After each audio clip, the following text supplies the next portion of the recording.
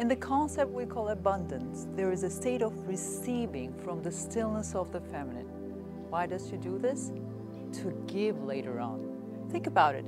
An abundance of sperm cells pours in the stillness of an egg cell. Creation starts with the liquid. The flexibility of the feminine and her openness to receiving are crucial here. Again, for what? For creation. Because the qualified sperm combines with the egg. The first cell, the zygote, is formed. Now, the woman inside her body is the one to nurture it. Where? In the womb space. Therefore, the concept we call abundance and blessing intertwine here. The dance of unity, possible only with the unity of masculine and the feminine. To achieve abundance, a person must heal their feminine side as well as her masculine side for it to multiply.